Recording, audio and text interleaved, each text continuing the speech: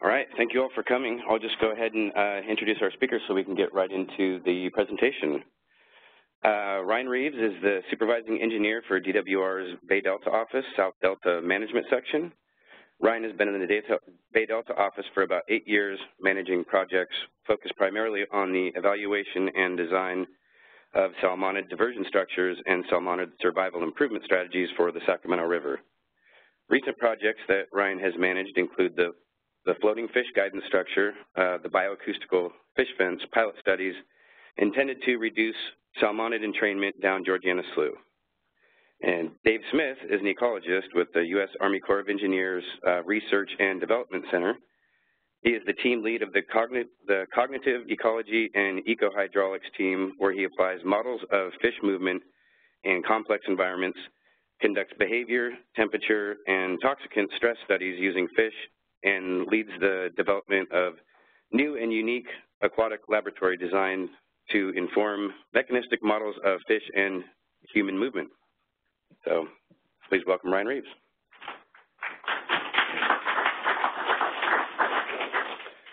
All right, thanks, Ben. Um, so I'm going to start out with a little apology. If you guys were paying attention to the flyer that got sent out several weeks ago for this uh, brown bag, it mentioned um, ELAM in the context of uh, Georgiana Slough, Georgiana Slough projects.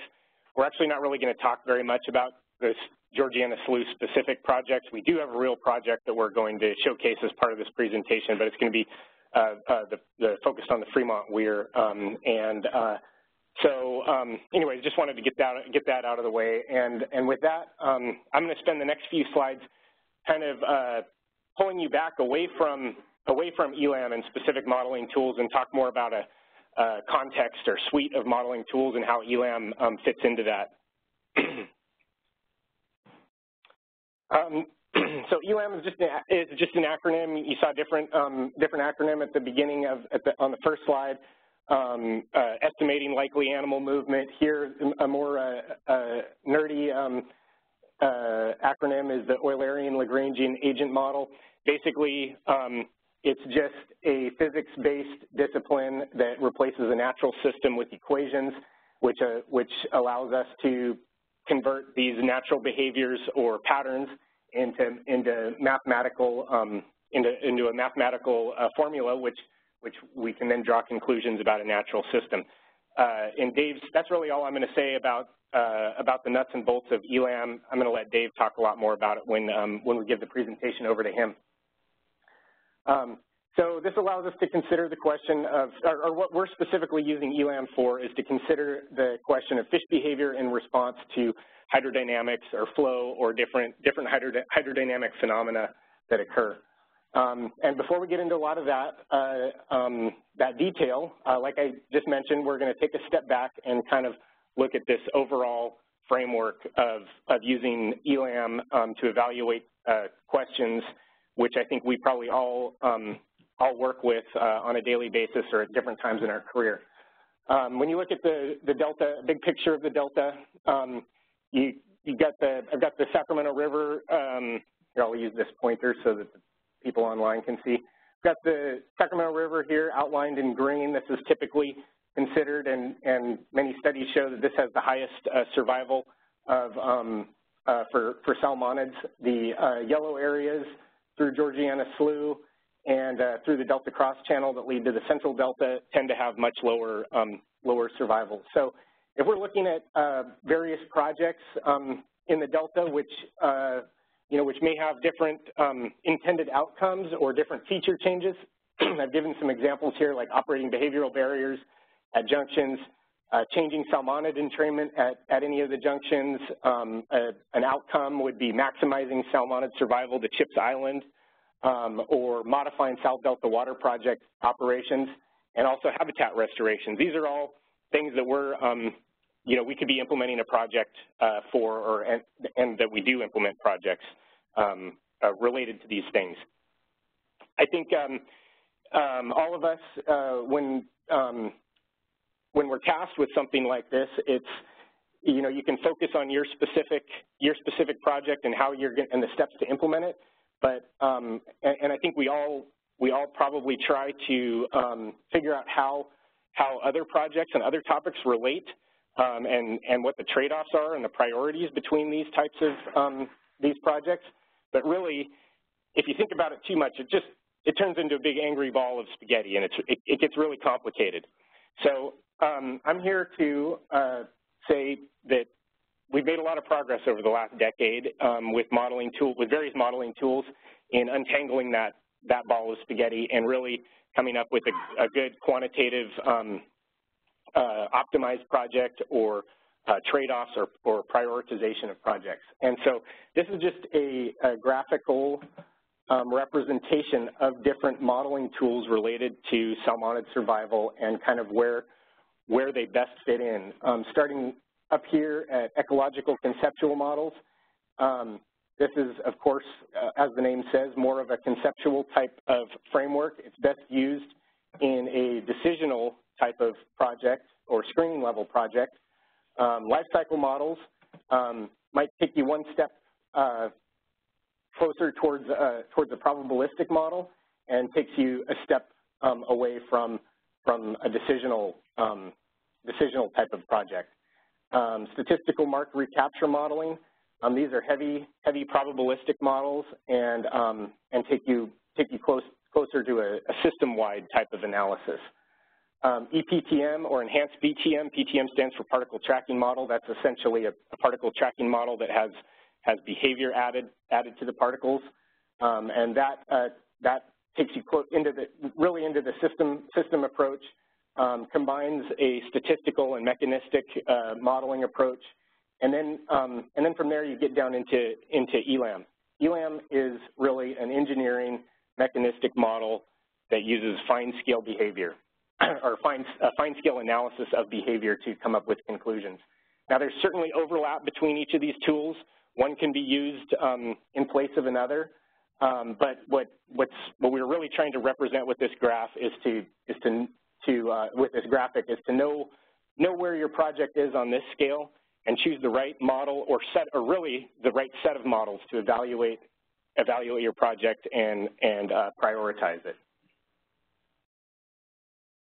So after that nice clean slide, you might think that's great, just a, really pretty picture, but that's you know a, a, huge amount of development work for to ever get to a spot where any of us could really use any of these tools.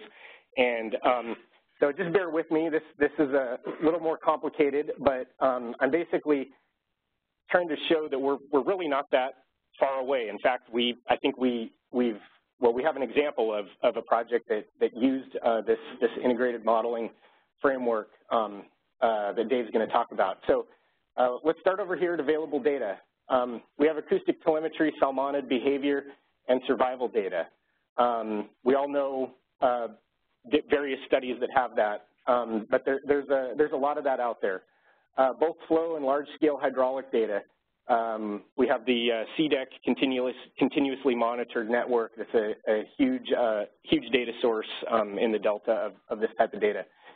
Um, there's also fine-scale hydraulic uh, turbulence data, um, and, uh, and this is this is becoming more and more available. Then there's the uh, pretty standard uh, hydrodynamic modeling tools. You could plug in plug any um, any uh, uh, name in here. These are just examples of uh, various 1D, 2D, and 3D hydrodynamic models that are available. Um, basically, there's a iterative, iterative, iterative and, and uh, uh, calibration feedback loop that goes on between, between these models. Um, and, and then from there, the, the salmonid behavior and survival modeling tools.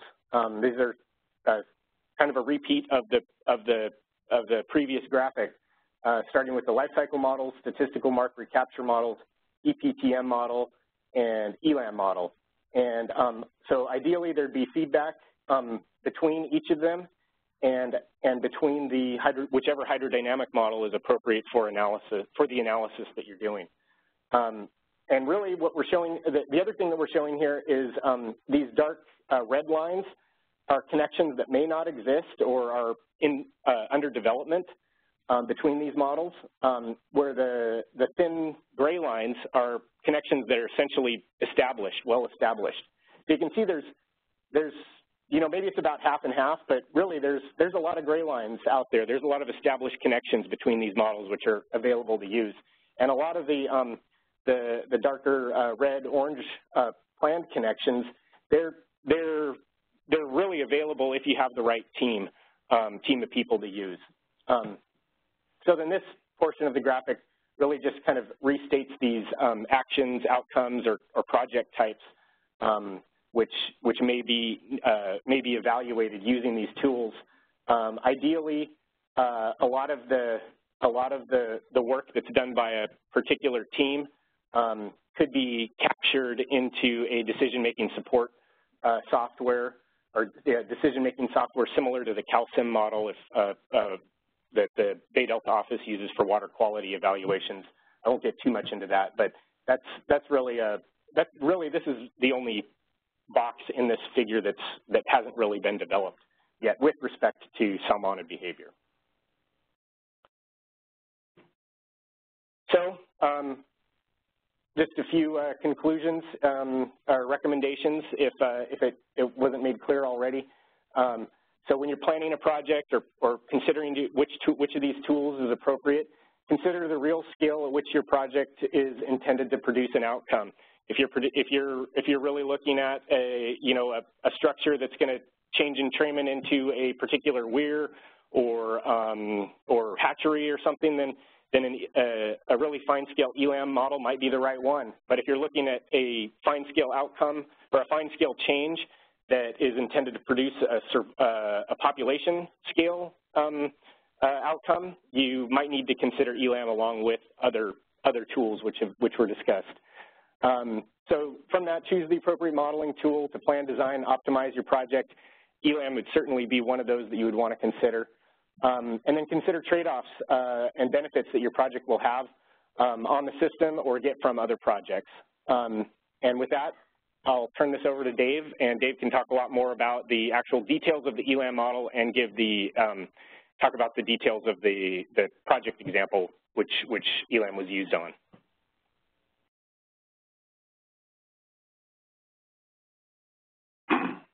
I think that Ryan has a, a really nice vision of how modeling can be useful, you know, to the Bay Delta in general, but also you have these same problems all across all across the United States. Uh, it's always it's always these trade-offs on scale, complexity, detail of information, the ability to process it to make you know informed decisions about infrastructure uh, or construction projects.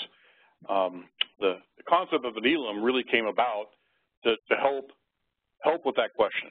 Um, it was a, an attempt to make something mechanistic that here, you know, generally is not considered a, a mechanistic problem. And and so the way that the way that we sort of go about this is is that all of us are either trained as engineers, ecologists. We all have a a, a field that we associate with at some degree, and uh, there are um, or standards of practice. And if you're an engineer, you start with Newton and the governing equations, and you can work from that to, you know, information about a system that you really don't have anything other than a gross description of.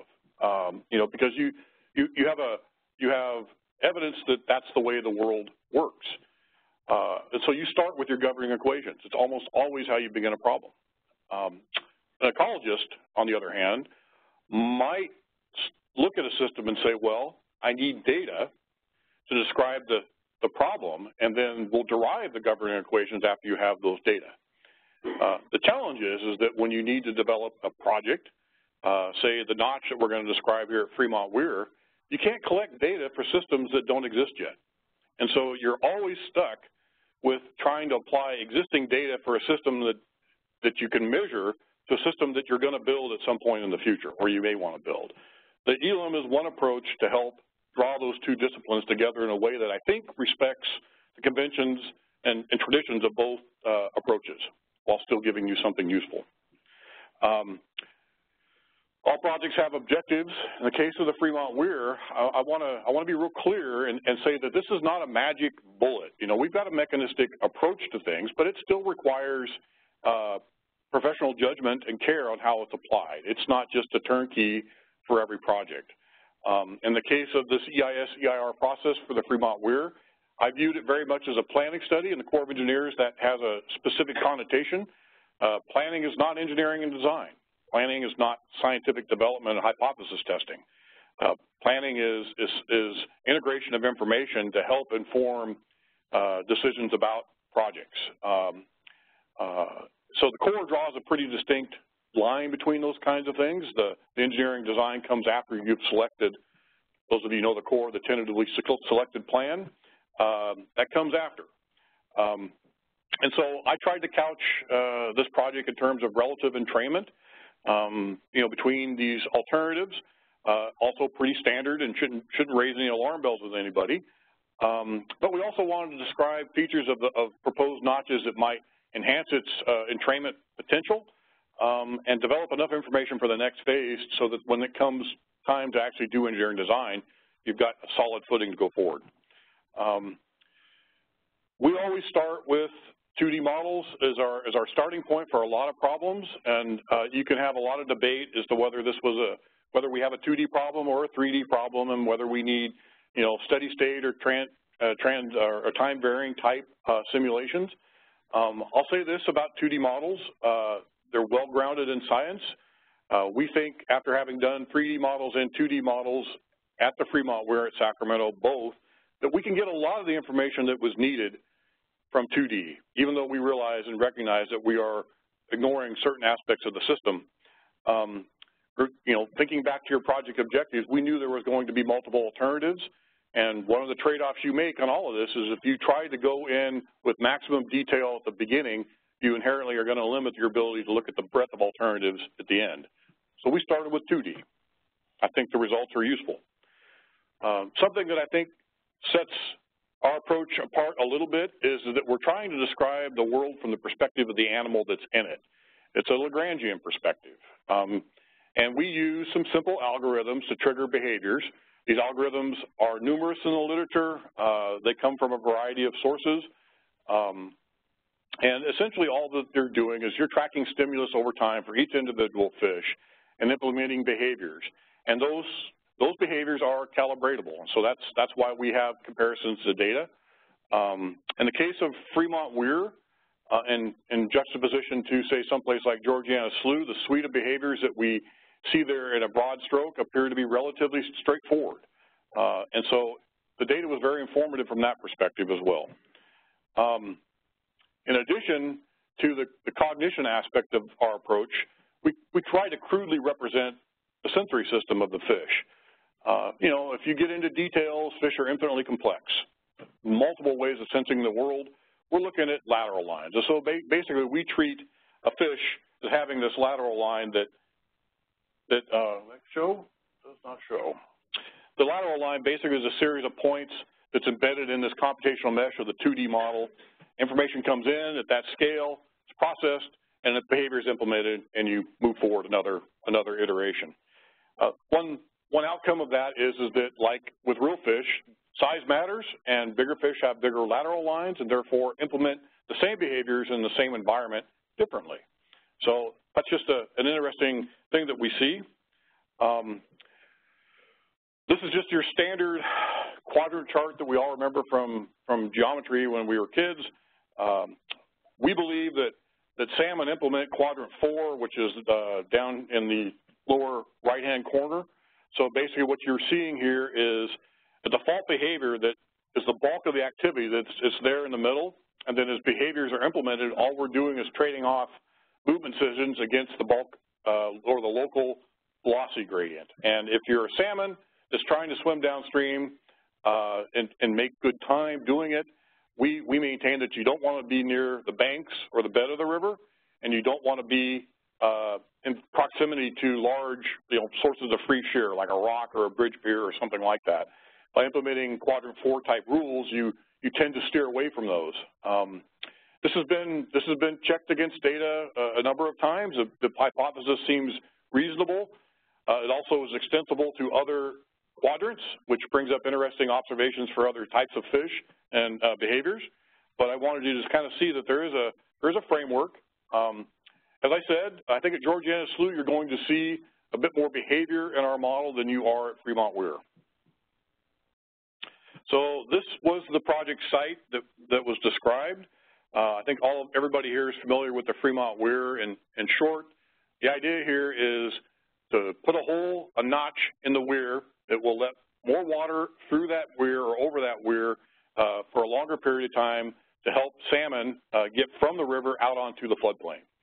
Um, it's a two-mile-long uh, concrete structure, and uh, as soon as you decided that you want to put a notch, then the question comes up, how big and where? What should it look like? Those are all just basic fundamental uh, project implementation questions, and what we did to help address that was implement this workflow. This isn't quite as neat as the workflow that Ryan just showed you, but concurrently there were a number of steps that were going on.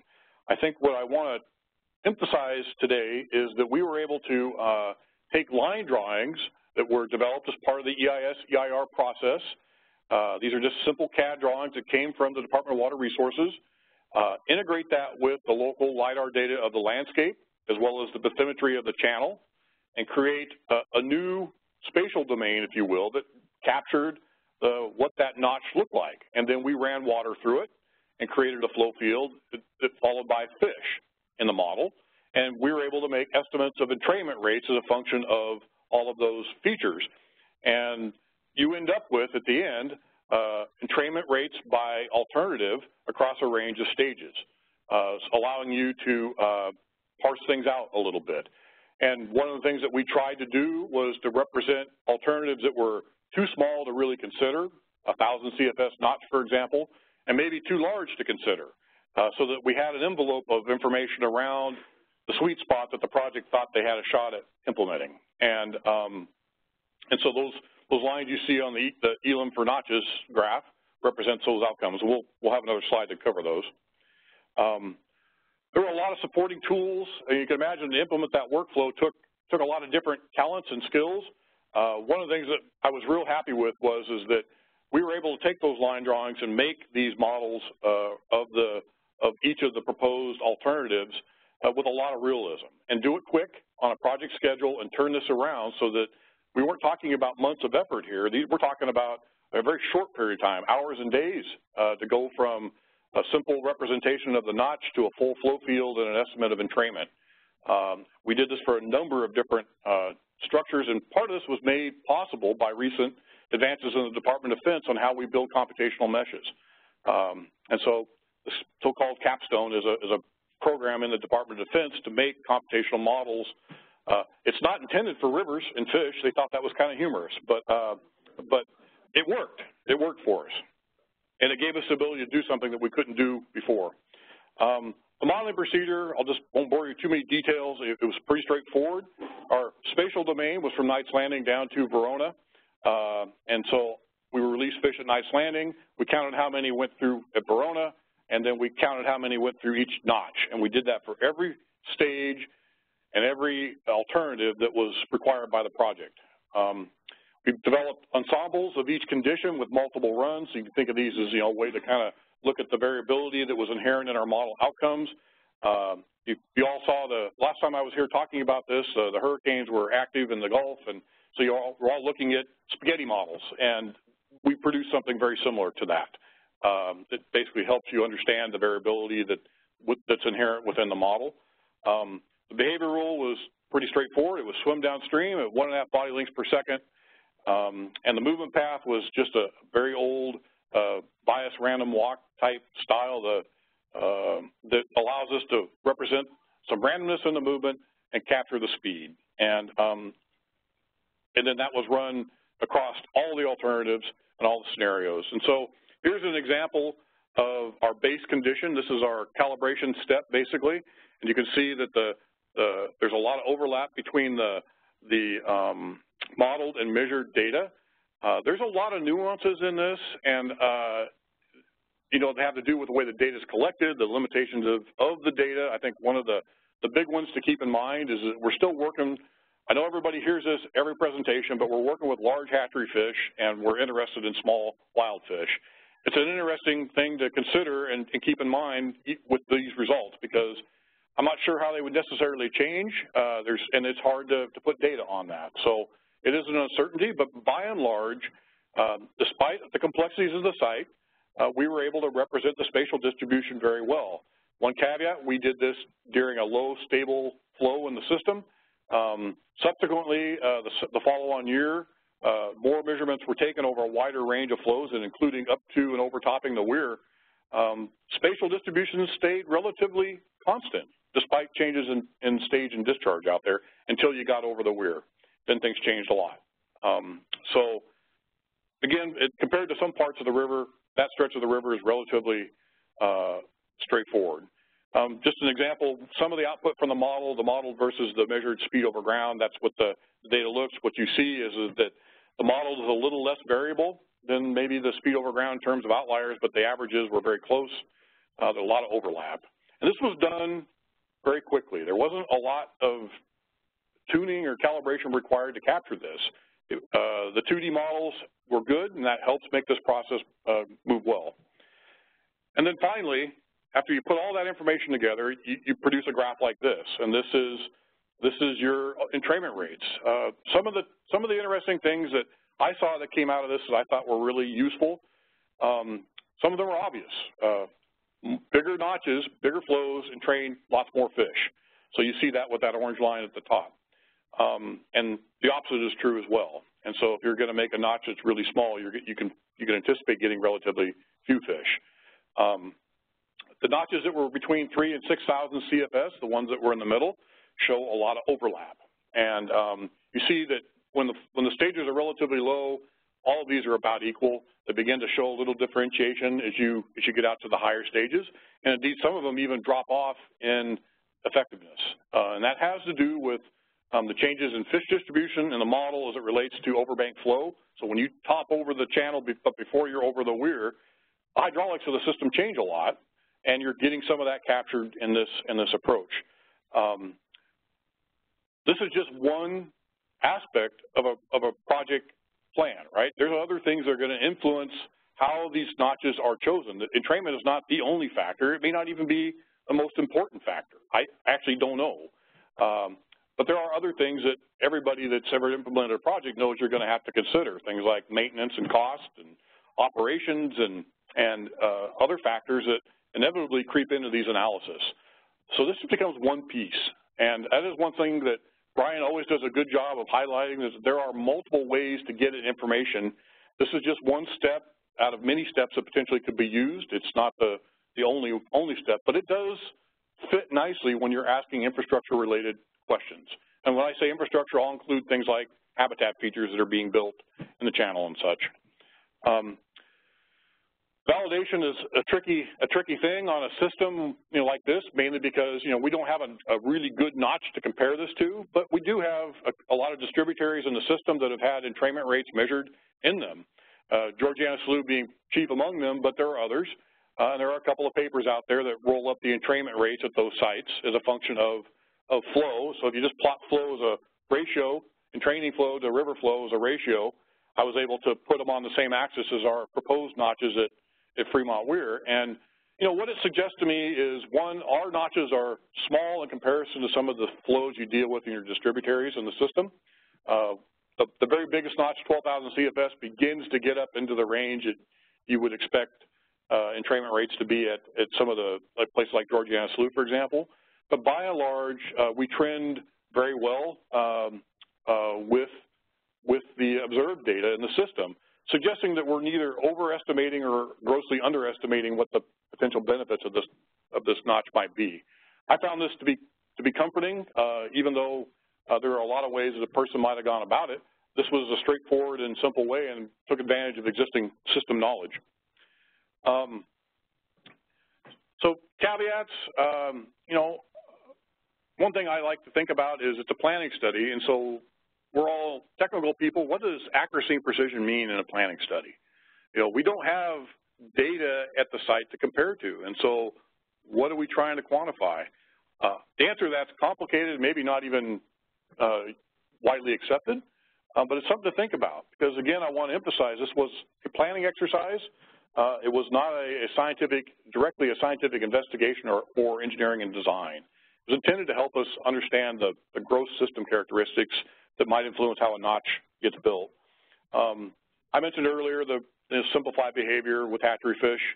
Um, one thing that um, I think is interesting is that, you know, more flow does seem to train more fish, but it also highlights, we also can highlight examples where structure location, structure shape, and orientation matter. Um, you know, I think we're, there's an example where we can probably get a, 4 or 5% extra entrainment just by making simple engineering changes to the structure. And that insight was gained through going through this process.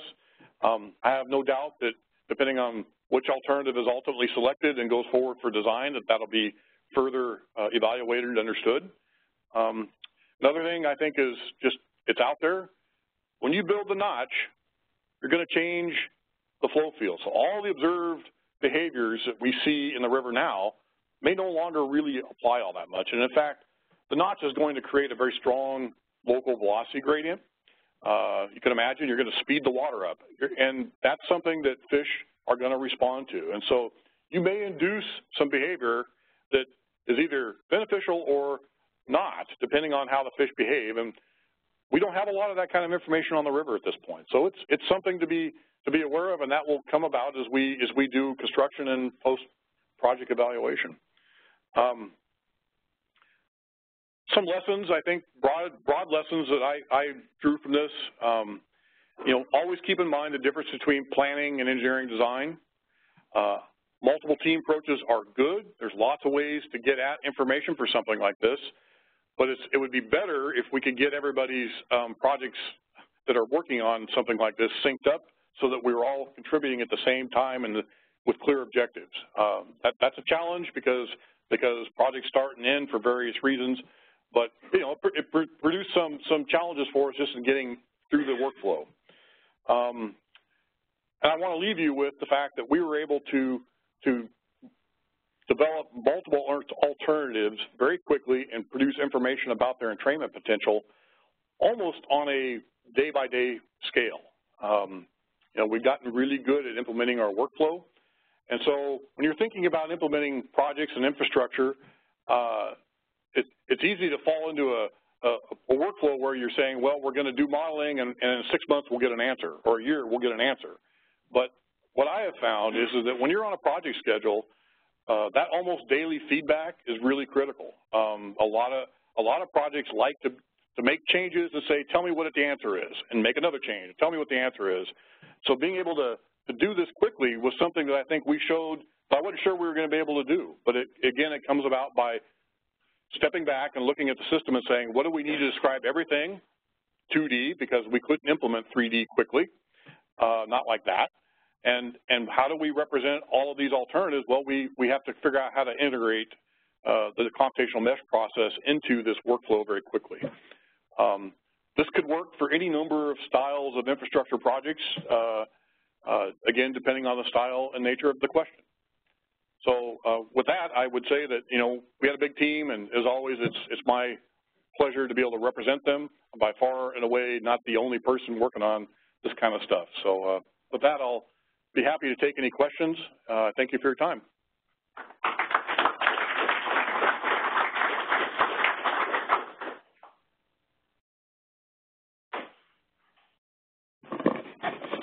Questions?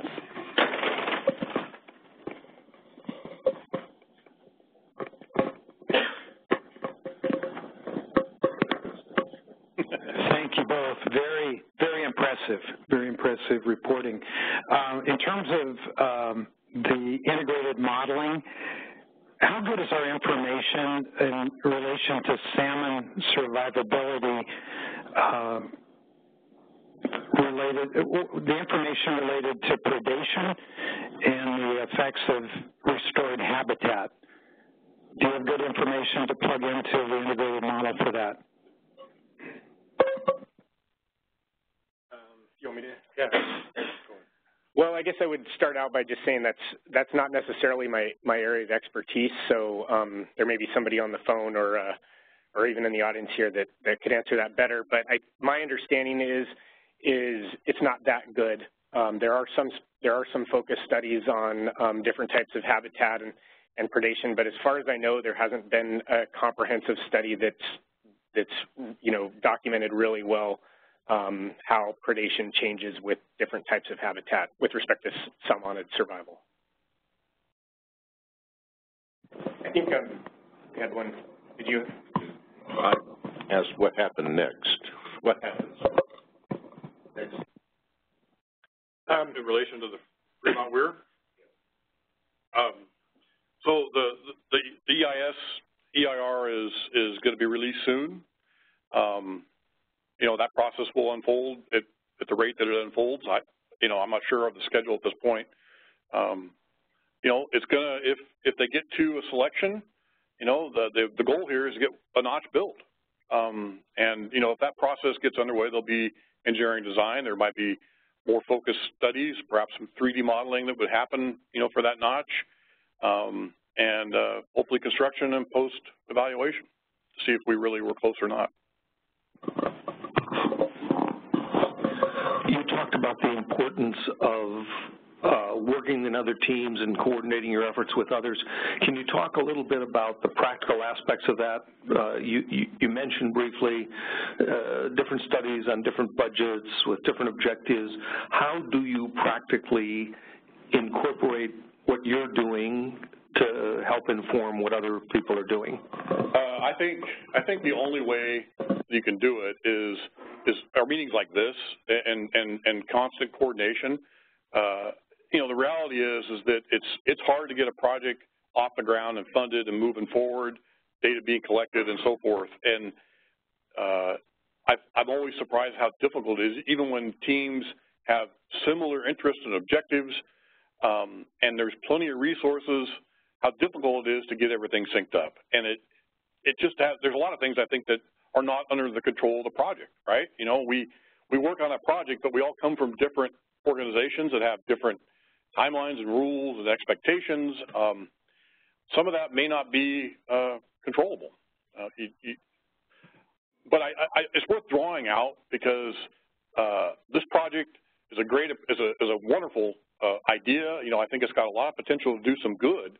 Um, getting more ideas uh, into it was was welcome and, and, and important, for, for those other reasons, it just it didn't it didn't come to its total fruition in part because we, we couldn't get everything synced up.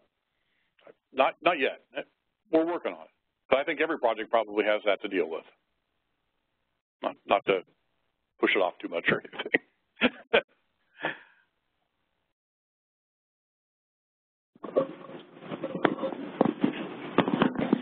so one issue with this project is what it does to the Yolo bypass in terms of uh, the value and frequency of uh, inundation and what that does to uh, agricultural expectations in the area.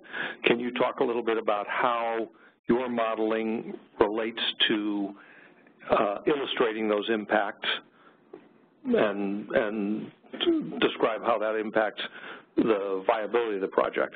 We provided entrainment estimates, which would be could be converted into numbers of fish that could then be passed to uh, a model of the of the bypass. And and in fact, the the, the project did produce such a tool. Uh, it's not being described today. It was I, I didn't lead that effort. Do you want to talk to it or no? So.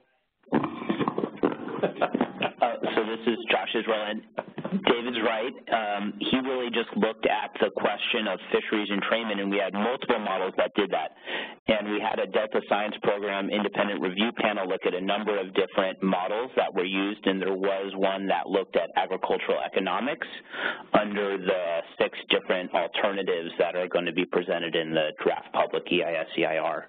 But there is also a sort of population model that looks at Chinook salmon and uses other uh, hydrologic models and, and, things and other relationships to look at other phenomena that we wanted to know about. So, and then there's also a waterfowl model. We wanted to evaluate that too.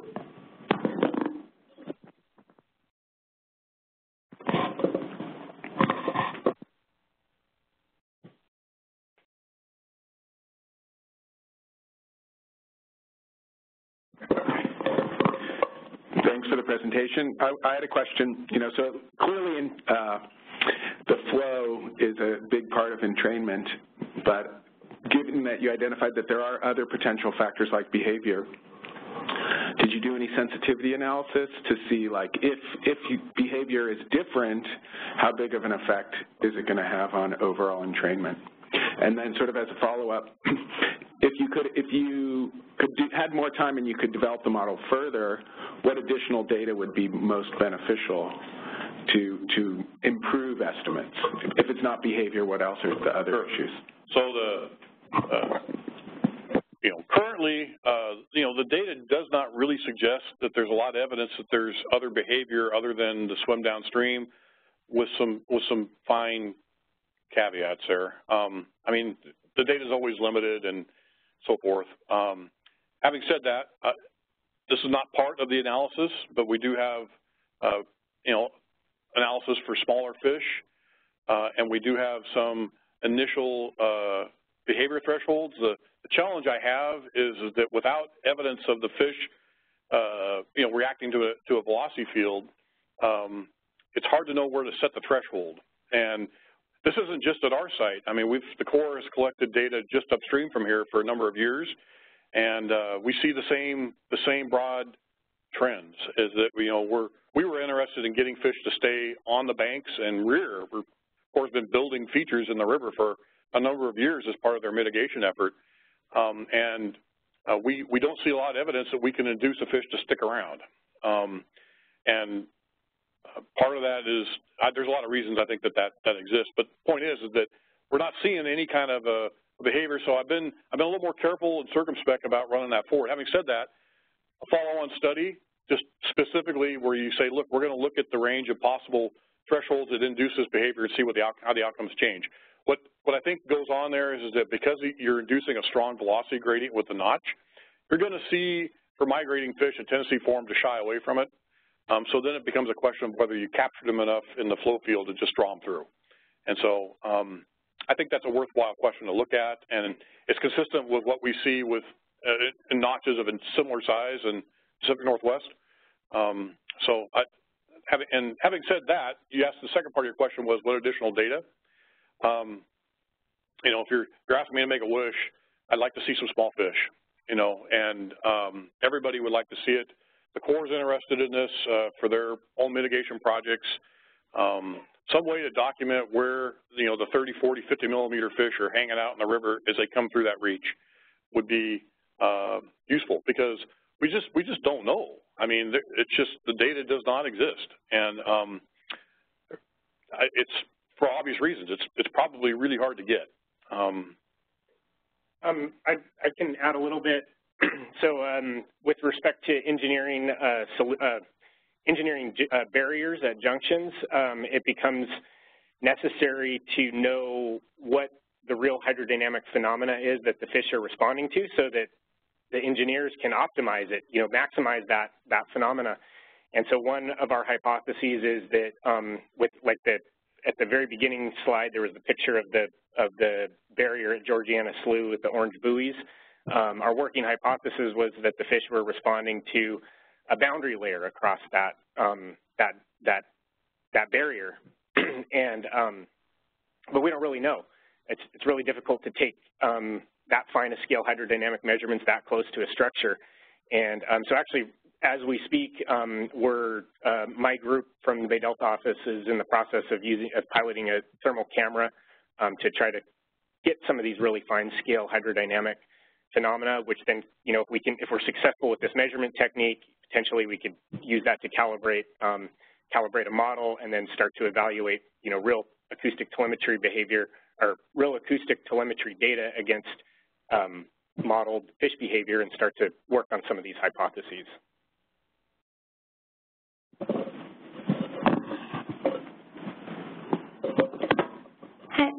Wondering if you could talk a little more about um, all these many people on your acknowledgments page who are from many different agencies, and I'm curious about the history of how all these people came together and how it worked to be working so much across agencies. That, that's actually, I'll let Dave answer that, but that's a great clarification.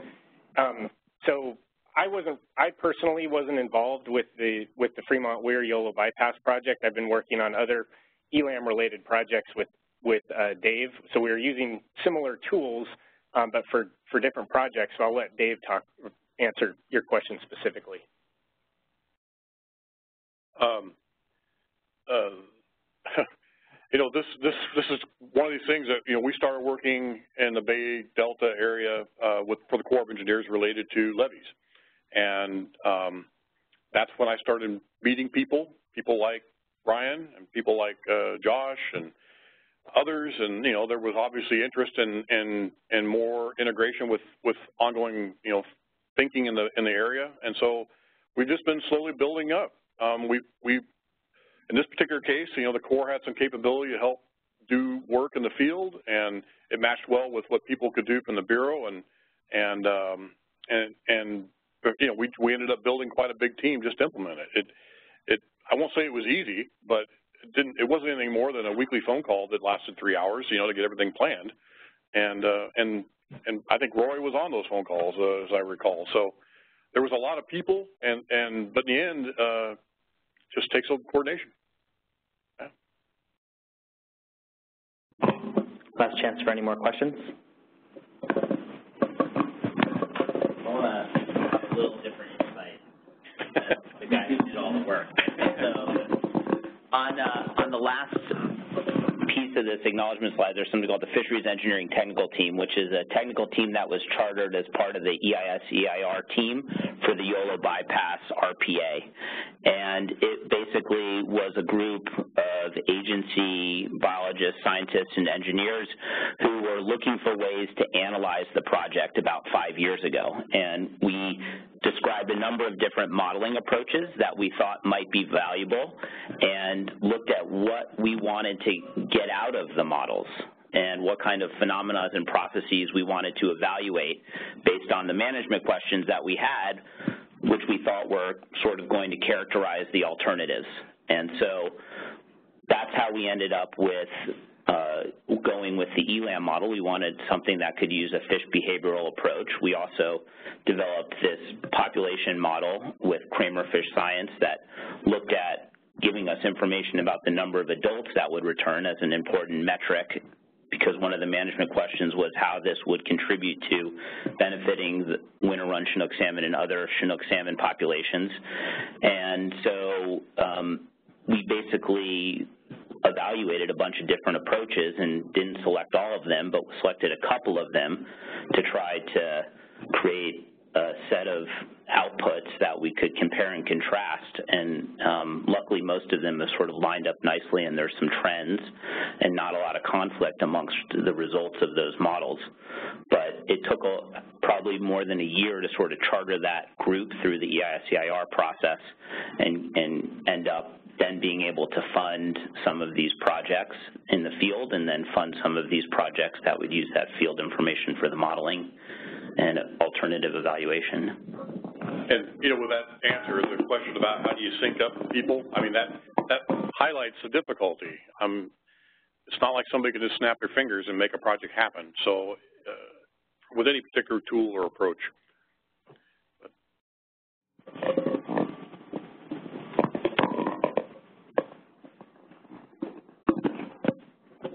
I was just wondering, what would it take to get that small fish data that you're hoping for? Is that doable or not doable with current technology? The only technology that I think, well, there's maybe two approaches that could work.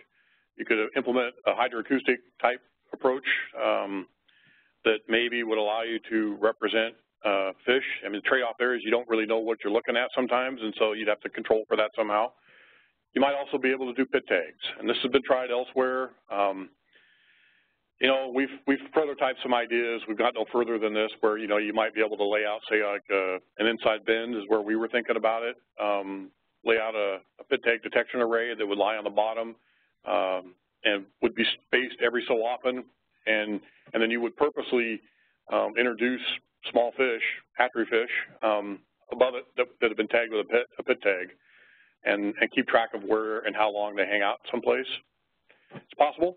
Um, so th those are the two technologies I think that would, you know, work. Uh, we've tried electrofishing for the Corps, you know, uh, for a number of years. We've, we've got data for that, and we caught so few small, so few salmonids in general, they just aren't on the banks. And, uh, and so you could potentially fish them up that way.